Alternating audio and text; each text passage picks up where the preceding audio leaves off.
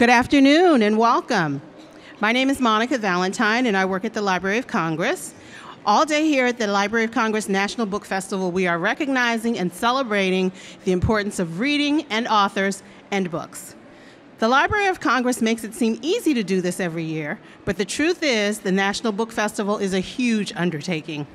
It's a huge financial undertaking, and it is free for everyone because of the generous support from our sponsors and supporters. Spread the joy of reading with your gift online at loc.gov/donate from the festival app or when you purchase books today. Now, on to the main event. Erin Entrada Kelly is the author of four critically acclaimed books for and about young people, including Blackbird Fly, The Land of Forgotten Girls, and her latest hit, You Go First. Please don't forget to visit the book sales area where her books are available today. This year, Erin was awarded the prestigious John Newbery Medal for her book Hello Universe, the story of four middle schoolers whose lives intersect in an interesting way. I'm thrilled to introduce and congratulate the 2018 Newbery Medal winner. Please welcome Erin Entrada Kelly.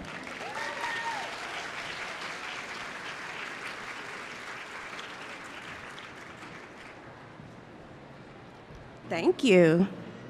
So I'm going to talk for a little bit and then I'm going to take questions at the end. So I hope you have questions. You look super inquisitive. Uh, so I'm assuming you do, no pressure. Um, so, one of the most common questions that I get is why do you write books? Um, and what is your inspiration? So, I've answered this in a variety of different ways. That's pretty similar, but to kind of give you an idea of the answer to both of those questions, I'm going to ask you to use your imaginations. Um, does anyone here like to daydream or use their imaginations a lot? Me too. Okay, so we're going to turn it on, right? And I want you to imagine, okay, I'm going to paint you a picture because I write books, so I tell stories, right? I want you to picture a girl. She's 12 years old. Okay, got it? 12 year old girl. And she looks a lot different from her peers at school. Okay, whatever you want that to look like. And let's say that she has, well, I'll give you a little hint what she looks like. She has very dark hair, okay? And the other girls in her school, they have perms, like the ones that make your hair curly, because this is the style at her school. This may have been in the 80s. Uh, just a spoiler alert. So, anyway, the other girls in her school all have like light hair and perms, and she really wants to look like them, and they have blue eyes, and she doesn't have any of those things. So, what she has done is this girl that we're picturing in our heads, she has put some spray in her hair to make her hair kind of blonder, okay? Uh, it's called Sun-In. I don't know if any of you are familiar with Sun-In, but you spray it in your hair and it makes your hair lighter, okay? Uh, so she's kind of got like these blonde streaks in her hair, okay? And another thing she did is she got a perm, because that's what the other girls were doing, and she wanted to be pretty like the other girls. But the perm didn't, I have to tell you, the perm did not come out that great. So Picture her with a very bad perm, kind of like hair like everywhere, okay? It does not help. So now we're going to give her a setting. So that's our character. And she's also, by the way, very quiet, right? She's a daydreamer, like a lot of you. Um, and she's not very outgoing. She has like one best friend. You know how some people have, how many of you in here have like a whole bunch of best friends? And how many of you just have like one or two best friends? Right? Okay. That's the kind of kid that she is. She just has one best friend, and her best friend's name is Nicole. So, the problem with having one best friend when you're 12 and in middle school is that sometimes your best friend is not in your class. And that is the case in her gym class. So, our setting is going to be gym class. Who loves gym class? A few people. Okay, of the adults, how many of you loved gym class? You're like, this is the best. Okay, so as I suspected, uh, the majority of people do not enjoy gym class. Okay, some of you do. Probably people who know how to like actually play sports and stuff. But our character, our 12 year old girl, she's terrible at all sports. Okay, that's another thing you need to know. When I say she's terrible at all sports, I mean, like when there's a ball coming toward her face, she ducks as if her life depends on it, okay? Also, she can't throw. So if she throws something, it lands like two feet away and it sputters away, okay? So this is our girl, and she's in gym class. Now, something terrible is about to happen, okay? We're gonna, we're gonna do some more scene setting here. You wanna know what the terrible thing is that's about to happen to our 12 year old girl? The, the coach, Coach Reed is her name, she says, We're gonna play basketball today. Okay, that's the bad thing, number one, because, by the way, she's terrible at basketball. Um, running and dribbling, she doesn't understand how that's possible at the same time. Um, so then the coach says, I'm going to choose two captains, and the captains are going to choose sides for basketball. Have any of you ever had that happen to you in gym class, the grown ups and kids, where you have to choose sides? You know what I'm talking about. So you're like the captain, and you say, I want Sally, I want Joe. You know how it goes. So when the coach announces this, our girl, her heart starts beating really, really hard. Okay? Now, I have to tell you, um, she, she makes a wish at that moment, and it's not a very nice wish because I have to tell you that real people in books just says real people in life. You don't always have nice, sunny thoughts, right? Because no one in here thinks nice thoughts all the time, correct? So this girl has a very, not a very nice thought. And this is her very, not a very nice thought. Her thought is, I hope Jessica is picked last. Now, I know who you're, you're wondering who's Jessica. I'll tell you.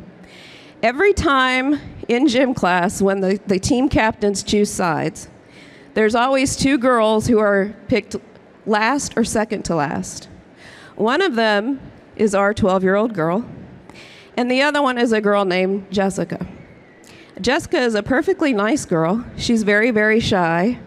She doesn't have many friends. So it's either going to be our character or it's going to be Jessica, right? One of them is going to be picked last, right? And our girl character is hoping with every ounce of her soul that it is Jessica and not her, right? So that's not a very nice thought, correct? Because that means Jessica has to be picked last and that she doesn't she doesn't have to be picked last, but then it's Jessica who has to deal with it. So here, so the captains start calling out names, and our girl is standing there, you guys, and she's trying to act like she doesn't really care. You know, you've done that before, where you try to act like you don't care about something, but you do. So she's trying to act very casual because she knows what's coming, and she hears one name after the other after the other, now, her best friend, Nicole, you remember Nicole, she's not in gym class with her. Because the best thing that can happen when this, this, this scene happens is that you could be chosen the captain. Then you get to choose the names, right? The second best thing that can happen is that your best friend is the team captain. Because you know that your best friend doesn't care that you're terrible at basketball. She's not going to let you be picked last. So, neither of those things have happened. So, she's standing there and her heart's beating, okay? Names are called, names are called. And guess what happens? She's picked last again. And now she has to go out on the basketball court and play a game that she's already terrible at and pretend like she doesn't care when all she can think about is, I was picked last and everyone knows it, right? Now you're probably wondering how this answers the question. And the question was, if you remember, why do I write books? And why do I write for young people? Uh, the answer to the second one is I'm going to let you in on a secret. I don't really like grown ups. Uh, no offense. Um, kids are much more interesting to me. Um, grown ups can be a little boring sometimes, except for me. I'm fascinating. Uh, so, the main reason, though, is when I was a kid, okay, here's another secret. I was very lonely, self conscious. I was second guessed myself all the time. And the thing that grown ups sometimes forget about being a kid is while you're going through all this, while you're being picked last for basketball, while you're sitting alone at lunch, while you're being left out, while your best friend is talking about you behind your back, while the person who likes you doesn't like you and says something mean, and all these terrible things are happening to you, a lot of times you feel like you have to act like you don't care. It doesn't bother you because you want to be, right? You don't want to be the, the you want to you want to feel like you're in control of things that are happening to you and that things are just rolling off your back, right? You want to put on a strong exterior. And the problem with that is a lot of times we're putting on a strong exterior, but inside our hearts are breaking. Not all the time, and some more than others. So, what I want for my books is for the amount of time that young people are reading, um, that they feel like they're not alone anymore. Because the thing is, when you're the 12 year old standing in the gym class, or the kid sitting alone at lunch, or the person being made fun of, or the person who's weird or being laughed at, okay? When you're that person, you could be in a room full of people and still feel all alone and like you're the only person in the universe. So, in my books, one common theme that's in all my books is that that's how the kids feel. And it's not a good way to feel but it's inevitable, right? We know what inevitable means. It's going to happen to all of us at some point. So my hope is that books. By the way, have you figured out the 12-year-old's me? I didn't reveal that. You you saw that twist coming. You knew it was coming. Okay. Uh, that really wasn't a twist, was it? You knew from the beginning. Okay. Um, I want kids to know that they're not alone. And I want you, when you read my books, to connect with the kids that I write about because there's a piece of me in all the kids, except the mean kids. Those I based off of people I don't like. Just kidding, a little bit. Uh, so that's kind of my spiel. And one thing that's common in all my books is that it has characters who are called misfits. They're called misfits a lot. Kids who don't quite fit in, who are trying to find their place in the world, which is kind of all kids and all people. And the idea that you can be quiet but mighty, that you can be strong in a lot of different ways, and that you don't have to be the best student, the prettiest, the most handsome, the most athletic, the cleverest. All you have to be is the best version of yourself, right? And that's the message that I want my books to give to you. So, all that being said, guess what happens now? You're bursting with questions, I can tell. See, I feel like if I say that ahead of time, everyone will ask questions, right? Because you don't want me to be embarrassed. You just heard that sad story, right? Okay, so I will take questions from people of all ages. Um, unless you're 32, then I don't take them. just kidding. Okay, are we ready? Questions? Yes. That I ever wrote? or that I ever read. Okay. My favorite book that I ever wrote. I have to tell you, I was just having this conversation earlier, and a lot of authors, if you've seen other authors, a lot of times they say, I don't have a favorite, and I love all my books. They're like my children, you know, and they are. But I do have a favorite. It's my second book, and the title is The Land of Forgotten Girls. That's my favorite book that I wrote. And the reason is because it's about two sisters. I have a sister. Does anyone have a sibling? Siblings, yeah. Aren't they fun? Yeah. The people, the kids in the front, they're like, no. Uh, it's about two sisters who use their imaginations to overcome their circumstances. But I do love all the books I've wrote, but that one is my favorite. I have an older sister. She's okay. Yes. Uh, question. Oh, oh, there's a mic. Okay, good. Um, are your characters' personalities based on anybody that you've met? Are yes. A lot of times my characters are based off. Uh, there's a piece of me and a lot of my characters, and also the kind of person that I want to be, and different qualities from people I've met. Yes. Good question. Thank you. Oh. Why did you make all your characters kind of misfitty, in, as opposed to like um, like the average people? Oh, that's a great question. I have a soft spot for underdogs. We know what underdogs are, right? Um, underdogs are the kids who are underestimated, who don't know their strengths, and other people don't know their, their strengths either. Um, I have a special place in my heart for people who um, go against the grain, and it's very, very hard to be yourself, especially when you're young, because you want to fit in, but then everyone's like, all the grown ups are like, just be yourself. But then when you be yourself, other people are saying, oh, you're weird, or oh, you're this, oh, you're that. And so then you try to fit in, then you're not being yourself. Anyway, it takes a lot of bravery to be a misfit. So I have a, I have a soft spot for misfits. Great question. Thank you. Um, how long did it take uh, you to write Hello Universe? It took, all my books take about a year to write. So with Hello Universe, I had to do a lot of research. So I spent about six months doing research and then about six months writing. And then it takes another year because you have to send your book to your editor and make revisions and they have to do cover art.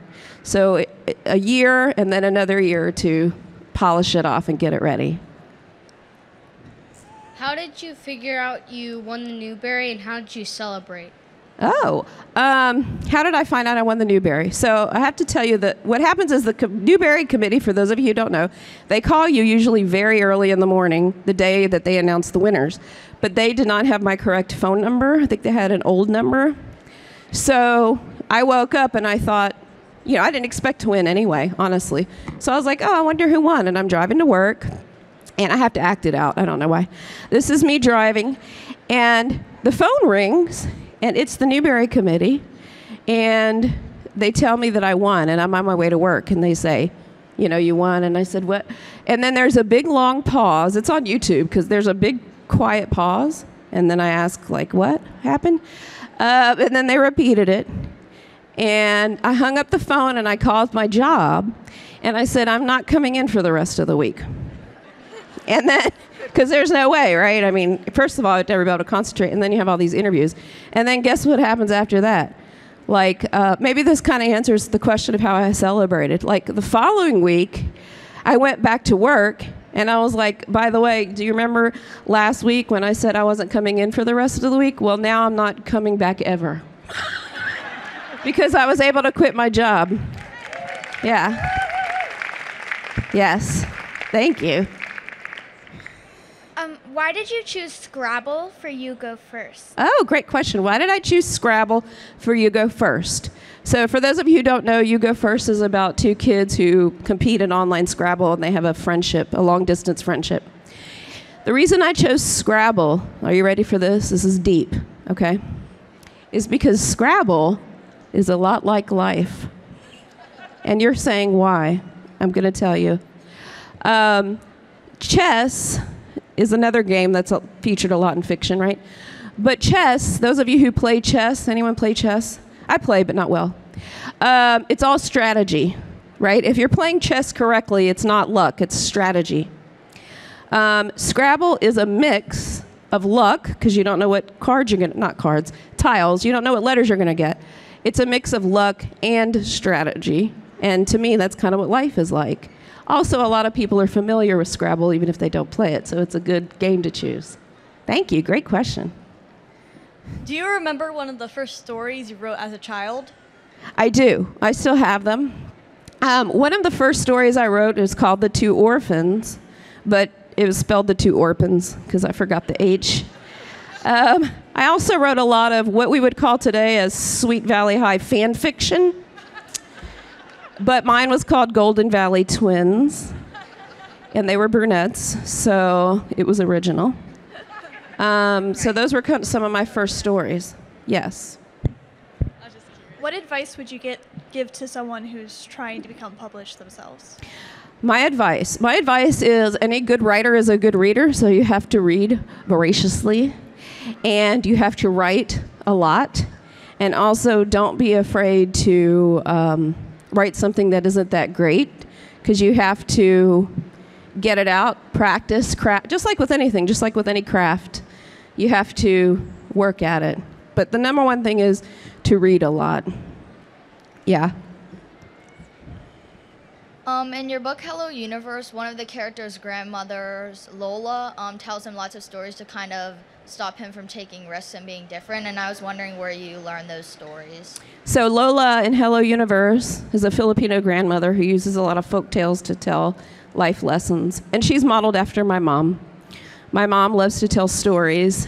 My mom is a devout Catholic. She actually lives in a convent. And when I was growing up, she told a lot of stories about the saints. And I have to tell you, some of you may know this already, but Lola's stories are very dark. The lives of saints, also very dark. you know, there's a lot of suffering um, and a life lesson at the end. So um, Lola's stories are secular, but, you know, based in Filipino folklore and Filipino mythology. As a kid, did you really like to write? I loved to write. I started writing when I was eight years old. I loved it. Um, uh, in your books, um, uh, like in Hello Universe, um, uh, did you write the stories or did um, that Lola told, or were they like stories that you found somewhere? It was a mix. Lola's folk tales are a mix of actual Filipino folk tales and folk tales that I made up. Yes. Great question. Why did you decide for Valentina and Virgil to have the same initials in Hello Universe? Oh, Valencia and Virgil have the same, in- because uh, what I want you to do when you read Hello Universe is wonder if there's such a thing as fate or coincidence. So they have the same initials. Is it fate? I don't know. It's for you to decide. We have a couple more minutes. Uh, will you ever write a Will you ever write a book from the from the bully's perspective, or will it always be from the character who is gang bullied? That is a great question. No one has ever asked me that before. I don't know. I don't have plans to, but you never know. That would be interesting, wouldn't it? Judy Blume did that. My, who's she's kind of my idol. She wrote a book called Blubber. That's from the uh, the bully's perspective. It's one of my favorite books. Good question. Thank you. Do you work on one book or more than one book at a time? I work on one book at a time. That way I can stay focused. Mostly. How did you decide to write Hello Universe? How did I decide? You know what? I thought about Virgil, and I wanted to write about a boy who was quiet and shy and sensitive. So we have a lot of girl characters these days who are very sh- outspoken and strong willed, like Valencia.